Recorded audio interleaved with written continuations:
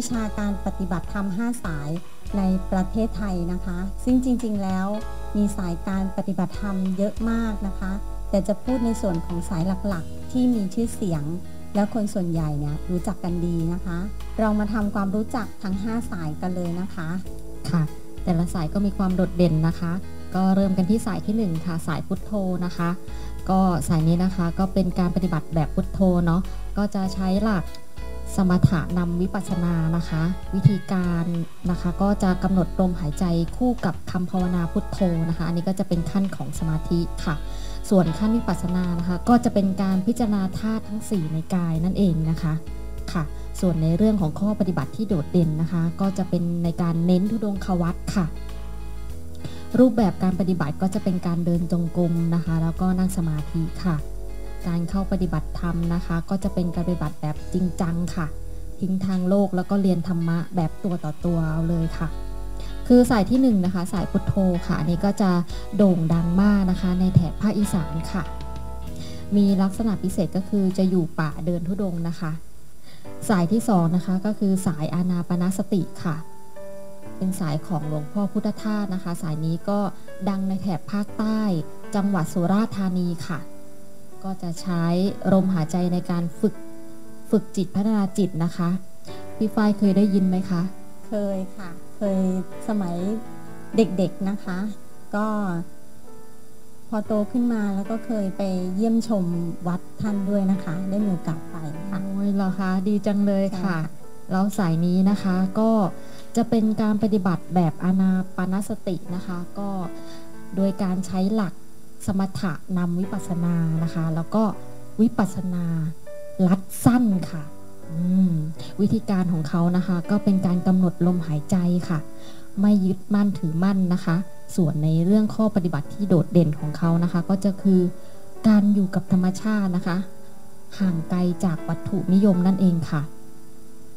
ส่วนในรูปแบบของการปฏิบัตินะคะ ก็จะเป็นการเดินจงกรมนั่งสมาธิทำงานค่ะ การเข้าปฏิบัตินะคะ ก็เป็นการฟังธรรมร่วมกับนำไปปฏิบัติเองค่ะ ผลการปฏิบัตินะคะ ก็จะเป็นการปล่อยวาง แล้วก็แก้ทุกข์นั่นเองค่ะ ค่ะก็มาต่อกันที่สายที่ 3 นะคะ สายรูปนาม เป็นสายของอาจารย์แนบมหานีรานนท์นะคะ ซึ่งท่านเป็นคารวาสฝ่ายหญิงค่ะ หลายคนอาจจะไม่ค่อยรู้จักกันนะคะน้องติ๊กน้องติ๊กเคยได้ยินหรือรู้จักบ้างไหมคะ ก็ยังไม่เคยได้ยินเหมือนกันค่ะะก็ค่ะก็จะเป็นเรื่องของเกี่ยวกับการฝึกที่ต้องอาศัยว่ารูปคืออะไร นามคืออะไรนะคะ ซึ่งจะต้องมีความรู้ในเรื่องอภิธรรมเข้ามาประกอบด้วยค่ะ การปฏิบัติธรรมแบบรูปนามนะคะ มีหลักการวิปัสสนานะคะ วิธีการปรมัตถสัจจะรู้รูปนาม ข้อปฏิบัติที่เด่นนะคะ มีวิธีการหลากหลาย ผลปฏิบัติบรรลุวิปัสสนาญาณค่ะค่ะ ส่วนสายทีสี่ 4 นะคะ ก็เป็นสายของยุบหนอพองหนอนะคะ ก็เป็นสายของหลวงพ่อจรันวัดอัมพวันนั่นเองค่ะ ซึ่งท่านก็ดังมาก ๆเลยนะคะพี่ฝ้ายสายยุบหนอพองหนอนะคะ ก็จะใช้หลักในการทำวิปัสสนากรรมฐานนั่นเองค่ะ ส่วนวิธีการนะคะก็จะให้รู้เท่าทันปัจจุบันขณะค่ะ เน้นพองยุบของท้องนะคะ และก็การกำหนดอารมณ์ที่มาปรากฏทางอายตนะค่ะ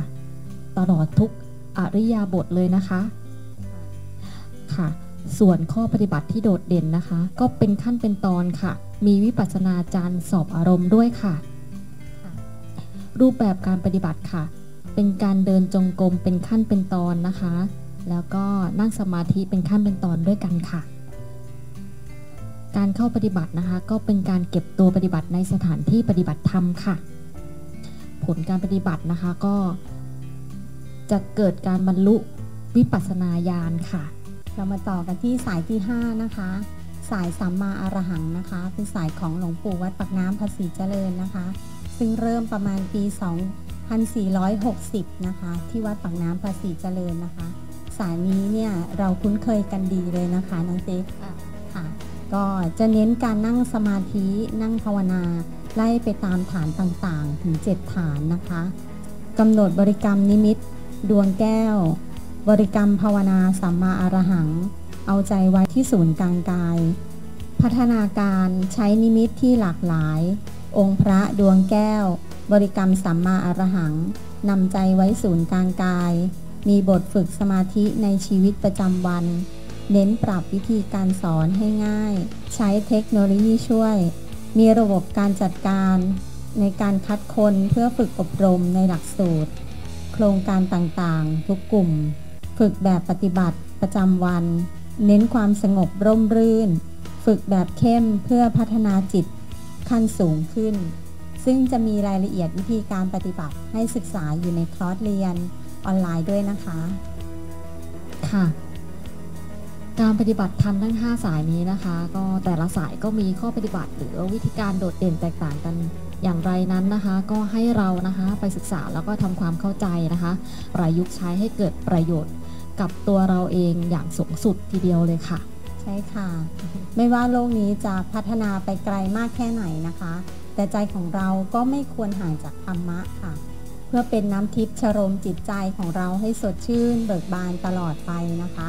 สุดท้ายนี้นะคะ เราทั้งสองคนนะคะ ขอเชิญชวนทุกท่านที่สนใจการเรียนระบบออนไลน์ มาเรียนกันเยอะๆ พบกันใหม่คราวหน้า สวัสดีค่ะ